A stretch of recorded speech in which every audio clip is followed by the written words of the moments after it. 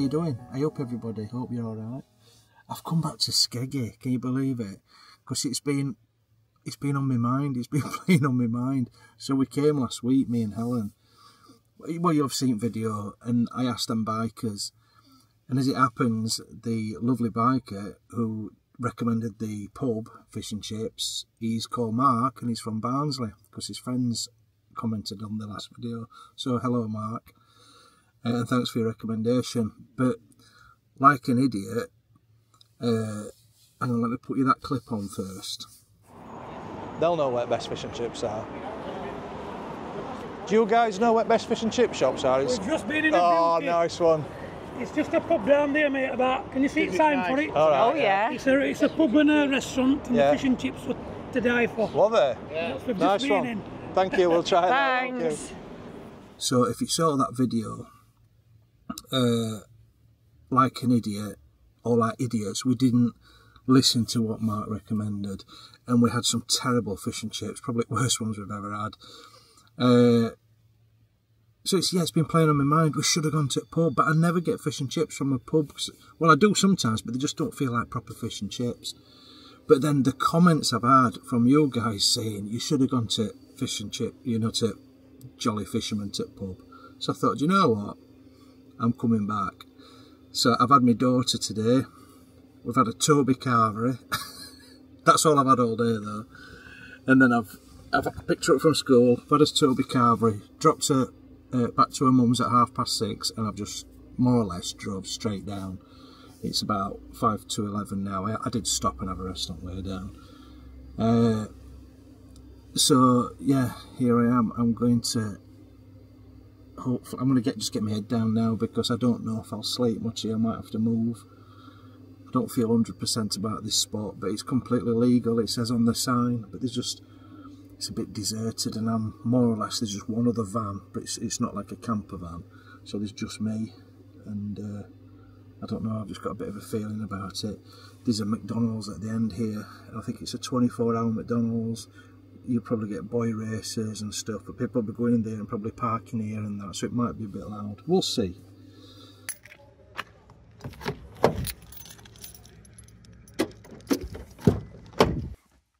Right, just jumped in van quick, moved away from that spot. It's about quarter to two or something like that. What were I thinking staying near a McDonald's, a 24 hour McDonald's? Must be an idiot.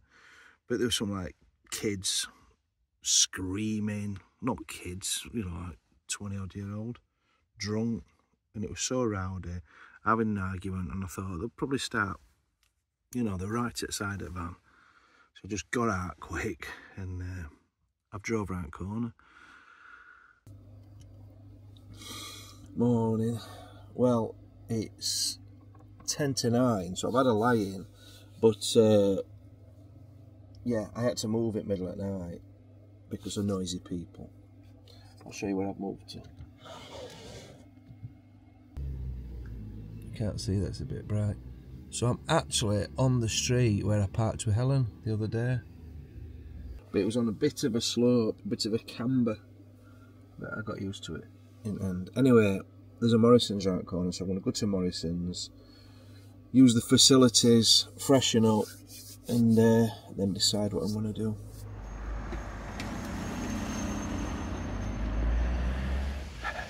Tell you what, that were a really close shave then.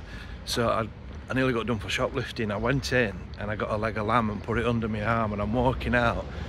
And the security guard says, what are you doing with that leg of lamb? I says, uh, probably roast potatoes and vegetables. It's nice. You know, I went to Starbucks the other day. This is not a joke. What's all that about? Starbucks. They just stand around and you're waiting forever. Just make, I only wanted a black coffee. It took 15 minutes for a chuffing black coffee. And then it were about four quid. So I'm sticking to onesie van now. I'll tell you what, only time to use Starbucks is get one of their expensive coffees and sit there all afternoon on laptop. You know, when I'm editing and stuff, I use their power and their Wi-Fi and everything. Get my money's worth then, don't I? I think that's why coffees are so expensive because they're all there. You know, like yuppies, not yuppies. You know, like them type of people, like nomads, whatever. I don't know.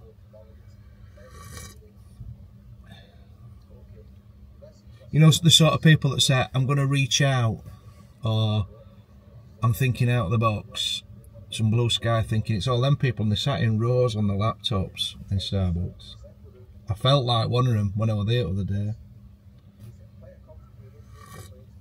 Anyway, I need to get a wash. Just finish off with the old beauty regime. you got to do it when you get to my age. I tell you what. So I've got some like beard, whatever it is. I want to grow a beard, but it never seems to work, and it's because it goes all right bushy, and I look like Uncle Albert. So I've read up on it, and you need some like beard softener and stuff, and you need to brush it. So that's what I've been doing. I'll probably change my mind again. It'll probably get too unruly, and I keep trimming it but it's looking a bit better. And I put some of that dye on it. Don't judge me. You know that dye? Uh, that control.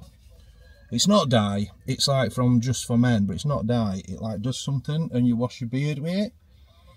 And uh, it sort of darkens it. It does some sort of magic. It's patented, this thing. And it is making it darker. But I don't want to go too dark because then I think I think I look really camp. And I don't want to do that and I can only do that when I go to the gym for a shower because it's a bit messy so yeah nice cup of coffee that clean my cup out. Just got to brush my teeth. And then uh, I'm gonna have a walk around Skegney. Skegney Vegas. Mega Skeggy. Costa del Skeg. Yeah I've had to buy a mirror. Look at my eyes. Look at my eyes. Oh, that's Helen. Helen's ringing. She rings me all the time. She's a stalker. I know. Hello, my darling.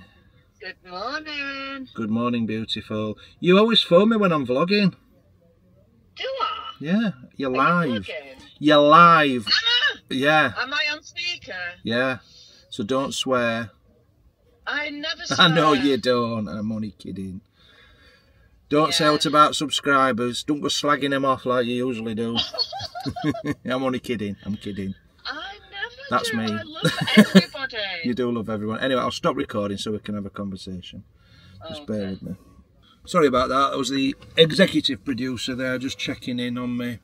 Uh, one thing I need to mention before I forget. If you remember in our Norwich video, we were kindly sponsored by Ekster, uh, which is the wallet company, and they do all sorts of gadgets and stuff. Absolutely love their products. I've got the wallet, as I've said before. I use this all the time. It's my main wallet. Is the Ekster wallet because it's the the pop-up thing. Now, I mentioned in that video. She's ringing me again. She's forgot something. I can't remember what I was saying now before I was rudely interrupted. uh, in that Norwich video, I was talking about a product that Ekster have, which is a card. It's like a card shaped like a credit card thing, and it fits in your wallet, and it allows you to locate your wallet anywhere in the world. And I said, it's that good, this product. I'm considering going to Apple because it's only available on Apple. Well, guess what? I were wrong, weren't I? It's not. It's available on Android. And the chaps at Ekster have sent me one. And that's it. It's a little card, and I have now got it in my wallet. And that goes there, and it's absolutely brilliant. So, what you do is you can go on the app on Android, it's called Chipolo, and you can bring a map up and see wherever you're. Uh, see it anywhere. So if you've left it somewhere or you think it's been stolen, you can track it. But the other beautiful thing about it is if it's in the house, you know, like you can't find your wallet, you just ring it. And you press this button here, ring to find, and it rings. How good's that? And that's my wallet ringing. There's even a tenner in it, look. So yeah, just thought I'd mention that. Stop ringing. And you can also do it the other way around. If you can't find your phone but you've got your wallet, you can ring your phone from your wallet. Ah, cool that. That's a great product. So yeah, thanks again to them for sending me one. So I'm quite chuffed about that. So yeah, giving them a shout out. Uh, go on their website and check them out because they've got a, a bit of a sale going on. And if you use my code, same code as last time, you get the uh, discount just in time for Father's Day, I think. When's Father's Day? So yeah, I'm all fresh. I just need to brush my teeth and then I'm going to have a mooch around Skeggy and I'll look at some stuff that I didn't do last time. You think, why, why are you doing Skeggy again? It's because i have come for a laugh to go back to that restaurant so I can compare the fish and chips. It's 11am in Skegness. I don't know if you can see behind me, but there's a lovely group of ladies and they're already on cocktails. It's obviously some sort of midweek hen do or party or celebration. Fair play. 11am cocktails. That's how we roll in Skegness. Look at that, eh? It's not just London, you know. London and Skegness.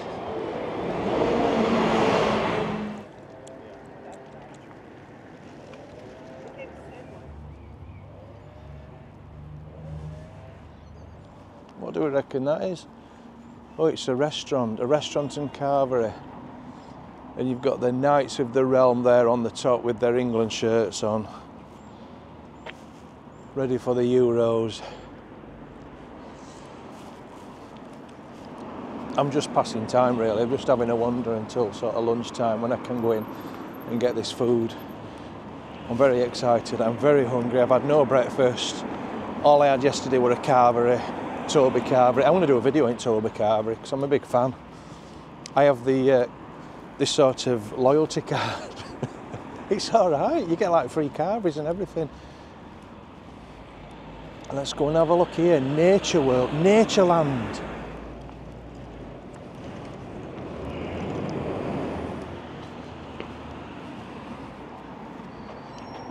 Oh, it's like one of them gigs with all uh, tribute bands. In fact, I went to that last year. It was good, but when I was walking in, the woman on gate, she come running after me. She says, "Excuse me, you've you've paid with a fake ten pound note." I says, "Well, yeah, it's a fake Taylor Swift, isn't it?" Eh? Eh? I'm here all week. Shall we have a look at this? We'll look at some seals. Oh, look at that. It's all right in here. Busier than I thought. I thought I'd be the only person in.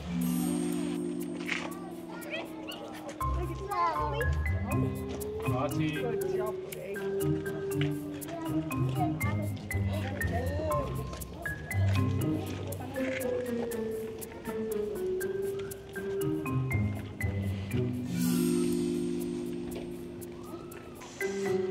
this lad here, or lass. Aren't they ace? You've got to love a meerkat, haven't you? All right, charming.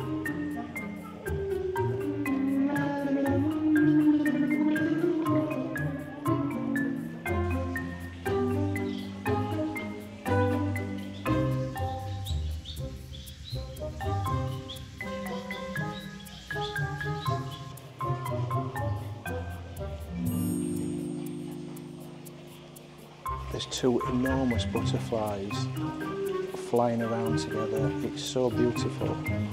It's quite moving. They're just gliding around. Can't find them now. I'll try and get them on the other camera.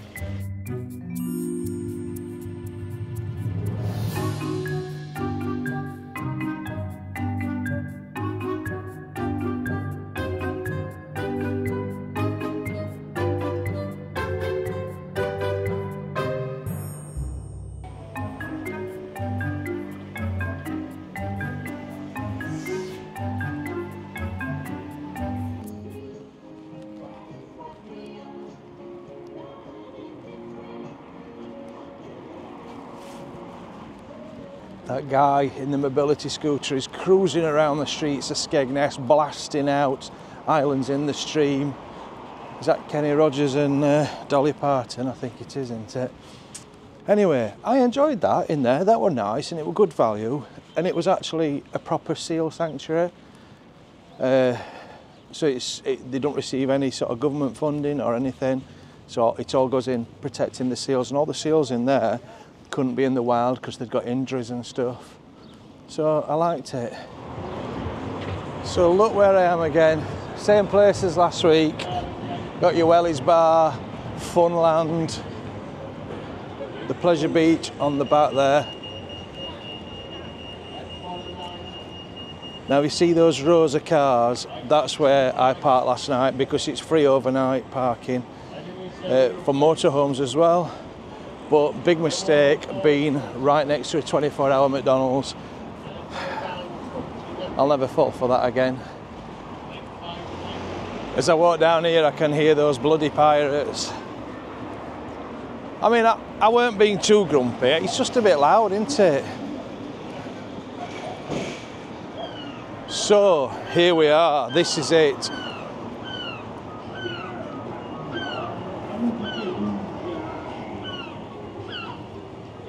The Jolly Fisherman.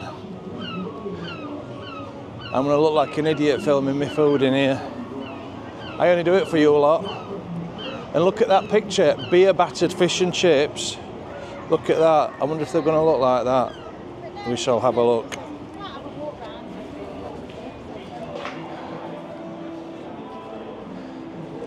Oh, it's busy already.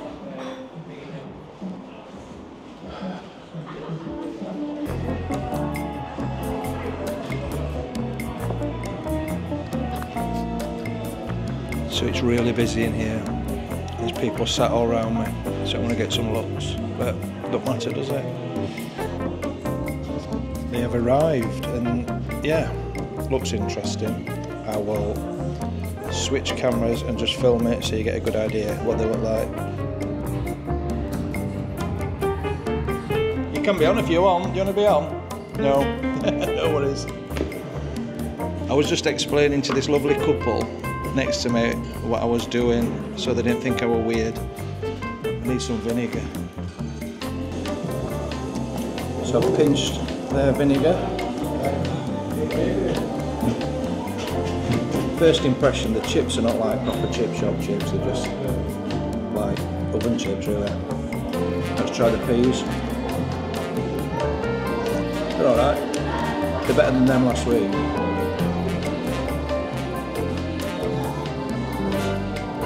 Right, I need to break this fish up. Can you see that? So the batter looks good.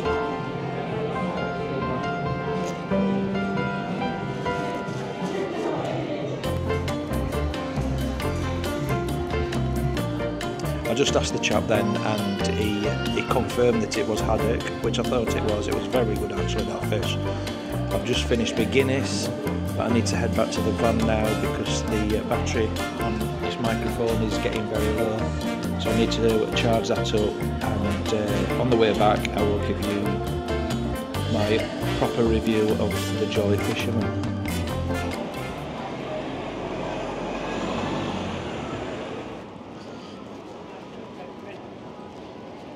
the bikers were right.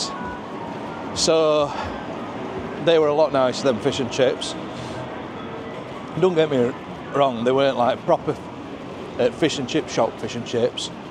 Although the fish could have easily passed. The fish was really nice, it was haddock. And it was far better than that haddock in the pirate place. You know, if they can do it, why can't they do it in other places? The only thing that was slightly disappointing was the uh, the chips. They were just regular sort of like oven chips. They were perfectly nice, but I think if they do some like if they do some like chunky chips or something like that, you know, some fancy triple cooked chips or something, they'd really go to a next level. Because as far as pub fish and chips are concerned, they were really nice. So yeah, Mark in Barnsley, Mark the biker in Barnsley. Thank you very much. And while I'm on the subject of bikers, I want to send a big shout out to Ron and Yvonne, who bumped into my mum and dad in Bridlington. So people are recognising my mum and dad from my Bridlington vlog. And they said it was lovely to meet you, Ron and Yvonne. And it really made their day. And they said you're a lovely couple. So thank you for that. Right, van's just down here. I'm going to chill out in van, charge the mic up, and then we're back into town. I can't stand the rain against my window. Right, it stopped raining at last, but I've been sat there for about an hour and a half. So, what we're going to do now, we're just going to head into the town. I assume I can get this way. I know it's over in this direction. So, I'm going to walk down this street here and see where we end up. And we'll just have a look round before I head back. So, come with me. Let's see what Skeggy Town Centre's got to offer. We've got Union flags there, and we've got a massive St George cross. They seem very patriotic to the Skegness people, and that's all. that's also called Churchill's. I know it's the Euros coming up, but you know it's good to see.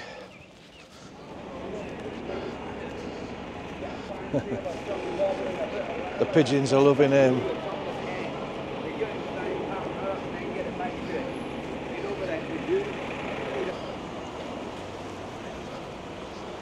So it's a typical sort of British seaside town centre. You've got the mixture of the, uh, you've got your charity shops, your amusements, and then your regular shops. Nice looking coffee shop and a bar as well there. That looks nice.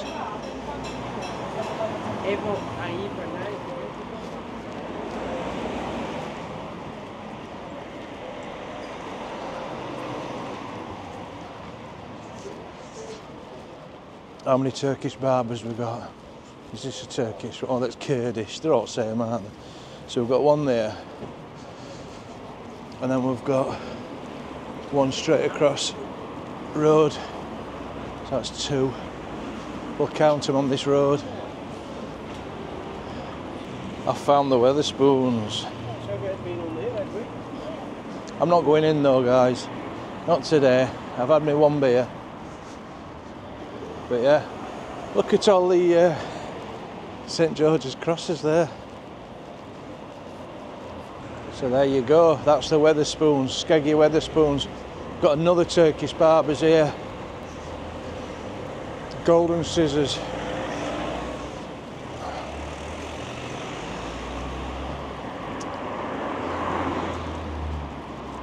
That's three. And what a surprise, they're not working. There's three guys there, all on the phones. I don't know how they, they seem to stay open because you hardly ever see people getting their hair cut, don't you? They're all sat there on the phones.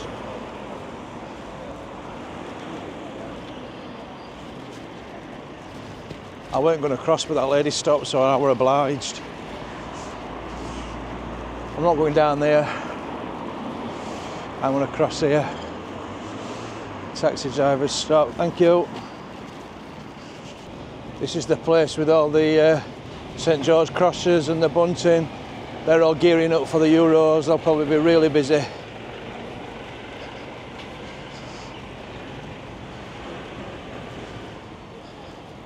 It's like a really old-fashioned sort of mini department store type thing. I'm not going in.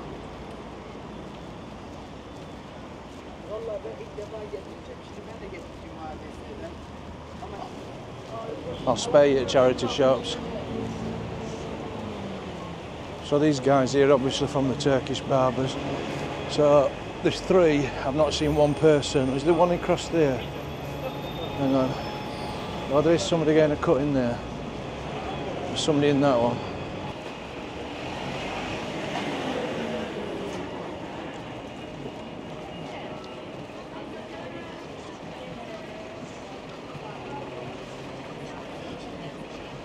We've got a Yorkshire Trading Company across there. Love that shop.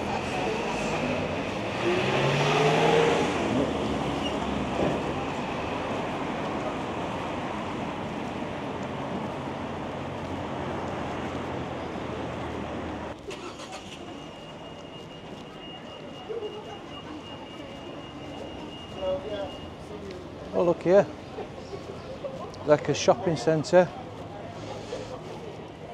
I'm just going to go to end here and then I'll come back. There's another one there as well. Lumley Shopping Plaza. Two shopping centres. Busy, really busy. I'm surprised to be honest. Oh, look at it down there. I'm going to have a walk down this street because it looks quite busy down here.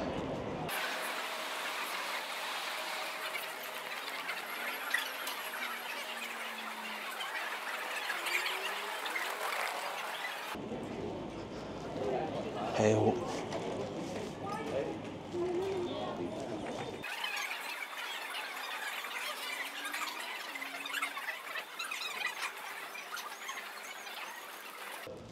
Look at this here, still got Christmas trimmings up. Merry Christmas. Or they just put them up early.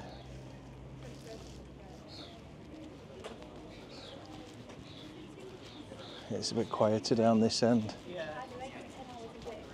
I said you need to put your hours down. She's over forward. So I started from twelve. We are back at Wetherspoons and it seems that we've done a loop. Well, we have done a loop. I'm going to head back down to the van and uh, get back to Barnsley. Washerman Dry. I've just done all my uh, washing and I bet that's a lot cheaper than what I pay. I was just walking along then and I saw a lovely lady. Uh, I don't know if she was a subscriber, I think she was, but she recognised me. And uh, I asked her to come on, but like everybody else, nobody ever wants to come on. But hello, Pip. It was lovely to meet you there. So I said I've only been to Skeggy twice. Well, I come when I was a kid, I think. So that don't count. I says I've only been to Skeggy twice, and that's been within like one week. Eh? Can't remember where I'm parked now.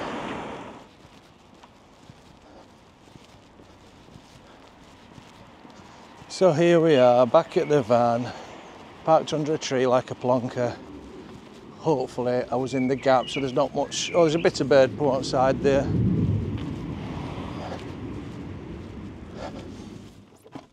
Right, so got back to the uh, the van. Uh, I've received some really sad news from uh, a couple of subscribers, Pete and Jen, and uh, they've just uh, they messaged me to tell me about Jen's brother, who's sadly passed away, and uh, his name is Tony Kitson, and he's a regular watcher of the channel, uh, and died suddenly, age 66, just as he was looking forward to retirement. So, you know, I just want to send my sincere condolences to you and, and to Tony's family. Uh, really sorry to hear about it, and you know, it, it puts it all into everything into context, doesn't it? So, yeah, rest in peace, mate. I'm honestly, it's horrible to hear. Okay, uh, yeah, sorry to end this on a somber sort of uh, note, but I think we all understand that there's you know we all like a laugh and a joke but sometimes there's you know there's obviously more to life than than just i don't know i don't know. Anyway i'm sending you lots of love uh, pete and jen and uh, to tony's family. All right. Thanks for watching the video everybody. I will see you in the next one. And uh, take care and i'll see you there